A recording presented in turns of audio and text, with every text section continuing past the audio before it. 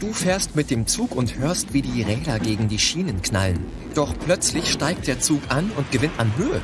Keiner der Passagiere schreit vor Panik, denn das ist ganz normal. Naja, vielleicht noch nicht, aber bald kann es unsere Realität sein. Die Firma Acker Technologies entwickelt ein solches Projekt.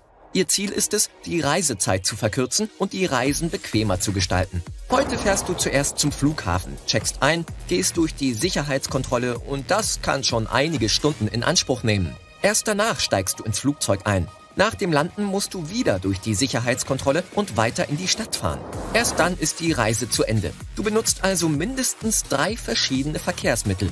Aber mit Link and Fly von Acker Technologies kannst du ganz ohne Umsteigen an deinem Ziel ankommen. Dieser Zug ist genauso groß wie ein Airbus A320. Er ist so lang wie vier Schulbusse und hat Platz für 162 Passagiere. Da er ein Zug ist, kann er auf den U-Bahn-Schienen bis in die Stadtmitte fahren. Wenn du also eine Reise beginnst, musst du nur zur nächsten U-Bahn-Station gehen. Sobald du im Zug sitzt, fährt er dich zum nächstgelegenen Flughafen. Und hier fängt der lustige Teil an. Der Zug hält kurz an, damit die Flügel und Triebwerke angebracht werden. Jetzt hat dein Zug eine Flügelspannweite so groß wie ein Fußballfeld. Die Triebwerke starten, der Zug beschleunigt und hebt ab. Nachdem der fliegende Zug gelandet ist, werden die Flügel wieder abgetrennt. Und dann fährst du schon in die Stadt und zu deinem Ziel. Ganz ohne Umsteigen ohne auf ein Taxi warten zu müssen. Und auch hier kannst du an jeder U-Bahn-Station aussteigen. Transformer-Flieger, die dich direkt in die Stadt fahren können, sind die ferne Zukunft. Im Moment arbeitet die Firma an einer einfacheren Lösung, um die Überlastung der Flughäfen zu verringern. Anstatt ein Flugzeug neben einem Gate parken zu sehen, werden die Fluggäste den Flugzeugrumpf direkt im Flughafengebäude betreten. Der Rumpf wird dann auf die Startbahn rollen und die Flügel mit den Triebwerken sowie das Cockpit mit den Piloten werden angebracht. Und schon ist das Flugzeug bereit zum Abflug. Mit diesem System wird das Einsteigen und Abheben 30 Minuten schneller gehen als bisher. Die Firma hat vor, verschiedene Arten abtrennbarer Rümpfe herzustellen. Für Kurzflüge sollen sie eine Kapazität von etwa 160 Personen haben. Für Langstreckenflüge und Flüge mit höherer Auslastung wird es Doppelstockkabinen geben. VIP-Kabinen können wie Privatjets individuell eingerichtet werden. Und wenn alle Sitze entfernt werden, kann die Kabine als Frachtflieger benutzt werden. Link Fly hat ein spezielles Sicherheitssystem, falls die Kabine sich während des Flugs von den Flügeln trennt. Drei Fallschirme vorn und drei am hinteren Teil der Kabine sollen automatisch eingesetzt werden. Es gibt auch Bremsraketen, die dabei helfen können, die Geschwindigkeit schnell zu reduzieren. So sinkt der Rumpf langsam und sicher. Einige Sekunden bevor die Kabine den Boden berührt, werden die am Unterteil angebauten Airbags ausgelöst für eine möglichst weiche Landung. Eine andere Möglichkeit, schneller zu reisen, ist der Airbus Pop-Up. Er ist eine Art Taxi, die fahren und fliegen kann. In Zukunft wirst du so ein Taxi mit deinem Tablet, Handy oder sogar deiner Smartbrille bestellen können und warten, bis es kommt. Das Auto selbst besteht aus einer Passagierkabine, die halb so groß ist wie eine moderne Limousine. Es bietet Platz für zwei Personen und hat ein futuristisches Design und Interface. Der zweite Teil ist das Bodenmodul. Es besteht aus dem Fahrgestell und den Rädern, die auf herkömmlichen Straßen fahren. Du steigst in die Kabine ein und dann übernimmt die künstliche Intelligenz die ganze Arbeit für dich. Sie fährt das Auto sicher und bringt dich zu deinem Ziel. Sobald du aus dem Taxi steigst, wird die Kabine mit dem Bodenmodul zur nächsten Ladestation geschickt. Die Ladestationen werden in der ganzen Stadt verteilt sein so dass du nicht lange auf ein Taxi warten musst. Wenn dein Ziel aber weit weg ist, erwartet dich eine noch interessantere Fahrt. Wie im ersten Fall steigst du in eine Kabine mit Rädern ein. Das Bodenmodul fährt dich zum nächsten Startort. Dort wird die Kapsel an das Luftmodul angebracht. Das Ding sieht wie eine Riesendrohne aus. Es hakt die Passagierkapsel ein, fliegt hoch und trennt die Kapsel vom Bodenmodul. Jetzt ist es ein fliegendes Taxi. Du kannst die schöne Stadtlandschaft von oben genießen. Dann landest du auf einer speziellen Plattform. Die Kabine wird wieder an ein Bodenmodul angeschlossen und du fährst weiter zu deinem Ziel, während das Luftmodul für die nächste Reise geladen wird. Raketen könnten eine weitere Revolution im Langstreckenverkehr sein. Zurzeit werden sie nur benutzt, um ins All zu fliegen. Doch in der Zukunft können sie Flugzeuge komplett ersetzen. Nehmen wir mal an, du reist von New York nach Shanghai auf die andere Seite des Planeten. Die Abschussrampe der Kabine kann auf dem Wasser sein, irgendwo in der Lower Bay. Du nimmst eine Fähre, die dich zur Rakete bringt. Dort angekommen, nimmst du zusammen mit anderen Passagieren Platz. Countdown, Zündung! Die Rakete startet und erreicht das All. Sie fliegt jetzt etwa 27.000 Kilometer pro Stunde. In der Umlaufbahn angekommen, dockt der Abschussteil von der Passagierrakete ab und kehrt zurück zur Ladestation. Dort wird er aufgetankt und für den nächsten Start vorbereitet. Jetzt fliegt die Passagierrakete mit ihrem eigenen Triebwerk um die Erde. Sie tritt wieder in die Atmosphäre ein und landet auf einer Plattform auf dem Wasser in der Nähe von Shanghai. Dieser Flug dauert nur 39 Minuten gegen 15 Stunden, die ein normaler Flug braucht. Doch solche Reisen haben einen Nachteil. Eine Rakete macht viel mehr Lärm, deshalb müssen die Landeplattformen weit von den Städten entfernt sein. Dadurch verlängert sich die Reisezeit. Das andere Problem ist die G-Kraft. Wenn man auf dem Boden steht, spürt man 1 G. Wenn man in einem normalen Flugzeug abhebt, spürt man etwa anderthalb G. Aber wenn man in einer Rakete fliegt, ist die G-Kraft, die du erfährst, doppelt so stark und wenn sie 5G erreicht, wird man ohnmächtig. Zurück auf den Boden. 2010 lag der Weltbestand an Autos bei über einer Milliarde und bis 2030 wird sich ihre Anzahl voraussichtlich verdoppeln. Wir müssen also gegen die ständigen Staus auf den Straßen ankämpfen. Der Elevated Bus könnte eine großartige Lösung sein. Das Ding sieht gar nicht wie ein Bus aus. Er ist zweispurig und kann aus mehreren Wagen bestehen. Solch ein Bus kann bei maximaler Auslastung bis zu 1200 Fahrgäste befördern. Und er soll auf üblichen Straßen fahren. Die Straßen seiner Route entlang müssen mit Schienen auf beiden Seiten ausgestattet werden. Der Elevated Bus wird sich etwa zwei Meter über der Straße bewegen. Das kann man mit einer Fahrt in der oberen Etage eines Doppeldeckbusses in London vergleichen. Und er wird den Straßenverkehr nicht beeinträchtigen. Normale Autos werden dort weiterhin fahren können. Der Elevated Bus wird voll elektrisch sein und mit Autopilot fahren. Sein Dach wird eine große, vollständig mit Solarmodulen bedeckte Fläche haben. An bewölkten Tagen wird er direkt von den Schienen mit Strom versorgt. Die unglaublichste Technologie zum Transport von Dingen und Menschen könnte die Teleportation sein. Leider werden wir in näher Zukunft keine Teleportationsmaschine sehen. Aber wir werden in der Lage sein, perfekte selbstfahrende Autos mit Autopiloten auf der Straße und in der Luft zu fahren. Wir werden auch fliegende Motorräder reiten und einen Vakuumzug nehmen, um in nur wenigen Minuten von New York nach Los Angeles zu gelangen. Also beginnen wir mit selbstfahrenden Autos. Das Funktionsprinzip fast aller solcher Fahrzeuge ist das gleiche. Das Auto verfügt über Kameras und Sensoren, hochpräzise Karten und Radare, die die Situation auf der Straße scannen. Ein gemeinsames System vereint solche Maschinen. Jede von ihnen weiß, wo die anderen sind. Und dies verhindert Unfälle oder Verkehrsstaus. Natürlich sind heute Autopilotautos nicht so beeindruckend. Viele Leute fahren sie, aber stellen Sie sich vor, was passieren wird, wenn alle Fahrzeuge auf der Erde durch künstliche Intelligenz vereint werden. Die Menschen werden Verkehrsstaus für immer vergessen. Computer werden gefährliche Situationen vorhersagen und verhindern. Aber was werden die Menschen unterwegs tun, wenn sie keine Autos fahren? Die Entwickler werden sich auf die Unterhaltung der Passagiere konzentrieren. Das Auto wird in der Lage sein, ihnen die genaue Zeit der Reise zu nennen. Müssen sie pünktlich um 12 Uhr ankommen? Okay. Das Auto kann absichtlich langsamer fahren oder seine Geschwindigkeit erhöhen. Es wird sich in einen echten elektronischen Assistenten verwandeln. Sie können eine Besprechung abhalten, Essen bestellen und einen Film mit Hilfe der Sprachsteuerung auswählen. Der Fahrersitz hat ein Mini-Kino, eine Spielkonsole oder einen Mini-Kühlschrank. Menschen, die gerne mit Fahrern kommunizieren, werden in der Lage sein, mit fortgeschrittener künstlicher Intelligenz zu sprechen. Aber natürlich wird es auch Probleme geben. Das Hauptproblem wird die übermäßige Korrektheit des Fahrens sein. Wissenschaftler und Entwickler arbeiten daran, Maschinen zu humanisieren. Hier ist ein Beispiel. Nehmen wir an, das Auto fährt auf einer belebten Straße und bemerkt einen Mann, der am Straßenrand steht. Das interne System des Autos analysiert schnell die Situation und entscheidet, dass die Person auf die Straße treten will. Die einzige Reaktion des Computers besteht darin, anzuhalten. Das Auto verlangsamt sich ein weiteres Auto hält dahinter an. Das erste Fahrzeug hat eine gefährliche Situation und einen Verkehrsstau verursacht. Und der Mann hatte nicht einmal vor, die Straße zu überqueren. Er stand nur da und wartete auf seinen Freund.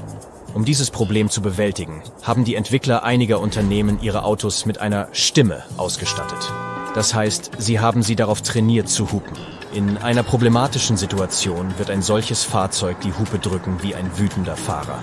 Aber das Auto kann sich verlangsamen, wenn ein Vogel vorbeifliegt. Kein Hubsignal wird sie hier retten.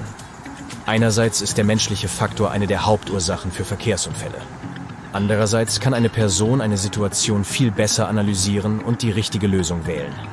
Es ist unwahrscheinlich, dass eine Maschine im Autopilotenmodus anhält, um einen Anhalter am Straßenrand aufzunehmen. Vielleicht hat dieser Kerl Probleme und muss dringend diesen Ort verlassen. Oder vielleicht wurde er von einer Schlange gebissen und muss ins Krankenhaus. Der Computer kann das nicht wissen. Aber eine freundliche Person am Steuer wird anhalten und Hilfe anbieten. Selbst wenn die Welt den Verkehrsstaus ein Ende setzt, werden die Menschen nach etwas Höherem streben ob auf der Straße oder in der Luft. Viele Ingenieure glauben, dass autonome fliegende Taxis und Busse die Zukunft des Verkehrs sind. Aber schwerkraftbetriebene Flüge werden in der fernen Zukunft auftauchen. Solche Maschinen werden nach dem Prinzip eines Hubschraubers arbeiten. Sie werden elegante kleine Hubschrauber sein, ausgestattet mit Autopilot. Uber und andere Unternehmen investieren in solche Technologien und sie werden sie vielleicht bald nutzen können. Nehmen wir an, Sie sind zu spät für irgendein Ereignis. Sie öffnen die App und buchen den nächstgelegenen Hubschrauber. Als nächstes gehen Sie auf das Dach, wo viele Flugzeuge geparkt sind. Dann bringt Sie Ihr Pilot zum Parkplatz Ihres Ziels. Und von dort erreichen Sie schnell den Ort, den Sie benötigen. Und stellen Sie sich das Gleiche vor, aber für viele Menschen auf einmal. Sie kommen an einem speziellen Bahnhof an und steigen in einen großen Bus mit Flügeln. Dieser hebt ab und folgt einer langen Route, die Sie und andere Passagiere in eine andere Stadt bringt. Und was wäre, wenn solche Riesenbusse sie ins All bringen könnten?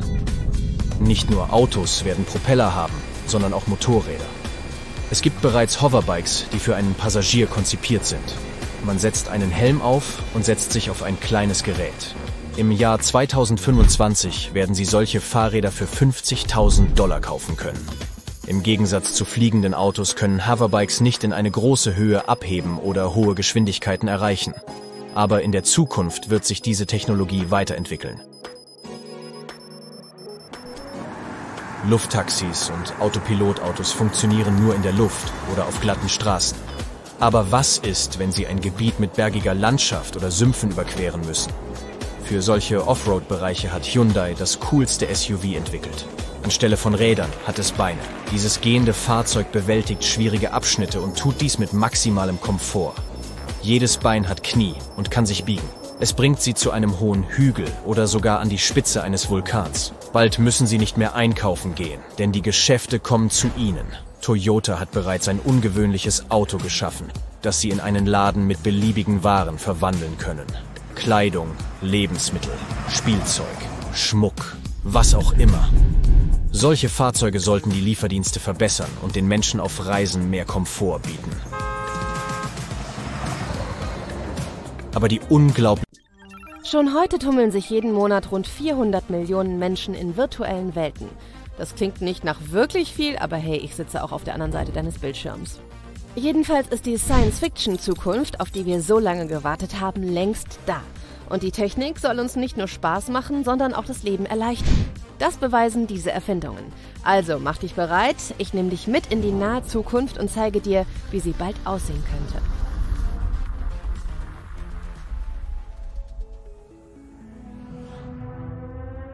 Du stehst morgens auf und gehst in die Küche direkt zu deinem intelligenten Kühlschrank. Die größten Technologie- und Haushaltsgerätehersteller der Welt arbeiten seit einiger Zeit daran, Kühlschränke mit unglaublichen Funktionen zu entwickeln. Diese Geräte können den Inhalt scannen und erkennen, welche Lebensmittel langsam zur Neige gehen. Die eingebauten Touchscreens bieten eine Vielzahl von Informationen wie zum Beispiel den Tagesplan oder eine Diaschau mit Familienfotos. Wie andere drahtlose Geräte, die du besitzt, kannst du sie mit dem WLAN in deinem Haus verbinden. Sobald sie mit dem Internet verbunden sind, können sie mit anderen vernetzten Geräten in deinem Haus kommunizieren. Auf diese Weise kannst du sogar die Fernsehsendung, die du gerade im Wohnzimmer schaust, auf den Touchscreen deines intelligenten Kühlschranks übertragen, damit du nichts Wichtiges verpasst. Das Display informiert dich auch darüber, wann du bestimmte Artikel nachbestellen solltest und es schlägt dir Rezepte vor, die auf den Zutaten basieren, die sich bereits in deinem Kühlschrank befinden. Neue und verbesserte Kühlschränke nutzen ein System, das auf Strichcodes oder RFID-Etiketten auf Lebensmittelverpackungen basiert, die bereits von Lebensmittelherstellern für die Lagerung und den Versand verwendet werden. Durch Scannen der Etiketten oder Strichcodes kann der Kühlschrank das Haltbarkeitsdatum und andere Details der Lebensmittel verfolgen und so einen genauen Überblick behalten. Ein solcher Kühlschrank, der sogar eine Einkaufsliste erstellen kann, kostet zwischen 2000 und 5000 Dollar. Wenn die Kaffeesahne zur Neige geht, warnt dich dein intelligenter Kühlschrank und zeigt dir an, dass es Zeit zum Einkaufen ist. Aber keine Sorge, zum Einkaufen brauchst du weder Bargeld noch Kreditkarte. Und das dank der Möglichkeit, sich winzige Mikrochips in die Hand implantieren zu lassen. Aber nicht zu euphorisch werden, so ein Chip macht dich nicht zum coolen Cyborg oder so. Diese Chip-Technologie, die bereits in digitalen Hausschlüsseln, E-Tickets und Bankkarten zum Einsatz kommt, ermöglicht es diese, sobald sie einmal implantiert ist, mit all deinen Online-Konten zu verknüpfen. So kannst du mit einem Handgriff deine Haustür öffnen, öffentliche Verkehrsmittel nutzen oder einkaufen gehen. Wenn du dann nach Hause kommst und deinen Kaffee mit veganer Sahne trinkst, musst du dir dank des Cyberkochs auch gar keine Sorgen mehr darüber machen, was du isst. Du kannst dich stattdessen einfach zurücklehnen und deinen Kaffee genießen. Im Jahr 2015 hat eine Robotikfirma eine neue Erfindung vorgestellt. Einen Roboter, der mit riesigen Händen Essen zubereitet. Dieser Meisterkoch ist bereits mit Tausenden von Rezepten von Spitzenköchen vorprogrammiert, sodass du nicht mehr googeln musst, wie man die perfekte Kuchenkruste macht. Der Roboter namens Molly kann alles vom Schütteln bis zum Rühren, aber leider nicht die Zutaten für die Rezepte, die er zubereiten soll. Zumindest noch nicht. Ich weiß nicht, ob es daran liegt, dass ich zu viele Science-Fiction-Filme gesehen habe, aber es ist keine gute Idee, einem Roboter ein Messer in die Hand zu drücken. Aber wenn man ihm die Zutaten in speziellen Behältern zur Verfügung stellt, kann er wenigstens sehen, welche er nehmen muss. Und wenn das Essen fertig ist, räumt Molly sogar den Tisch ab. Endlich hast du einen eigenen Tischabräumer. Molly kann seine Rezepte nach deinen Ernährungsvorlieben und Kalorienvorgaben planen und anpassen. Außerdem kannst du über den Touchscreen einige Rezepte hinzufügen, die Molly dann genau für dich kocht. Sogar den Lieblingsauflauf deiner Oma. Allerdings kostet Molly stolze 340.000 Dollar, was dich vielleicht darüber nachdenken lässt, ob du für das gleiche Geld nicht einen persönlichen Koch engagieren könntest, der sogar die Zutaten für dich zubereitet. So, und als die Uhr 12 schlägt, erhältst du eine SMS von deiner Mutter. Sie erinnert dich daran, dass sie in einer Stunde zu Besuch kommt. Oh oh, das hast du total vergessen. Du schaust dich um und stellst fest, dass du schon sehr lange nicht mehr geputzt hast und du willst nicht, dass sie das Chaos sieht. Superanzüge können hier sehr hilfreich sein. Ein Beispiel ist der Guardian XO. Ein mechanisches, batteriebetriebenes Ganzkörper-Exoskelett, das schneller und stärker macht. Es nutzt Elektromotoren und 120 hochmoderne, ultrapräzise Körpersensoren, um menschliche Intelligenz, Instinkt und Urteilsvermögen mit der Ausdauer und Präzision von Maschinen zu verbinden. Er steigert deine Kraft und ermöglicht es dir, ein Gewicht von bis zu 90 Kilogramm zu heben, als würdest du eine Feder anheben, ohne in deinen Bewegungen eingeschränkt zu sein. So kannst du schnell und einfach unter dem Sofa, dem Bett oder dem schicken Kühlschrank aufräumen, bevor deine Mutter kommt. Das nenne ich mal Produktivität. Aber mach dir nicht zu viele Hoffnungen. Der Guardian XO kann keine Busse stoppen wie Superman oder über die Wolkenkratzer springen wie Neo. Er kann nicht die Welt retten, aber er kann dir das Leben leichter machen, wenn du in ein neues Haus ziehst.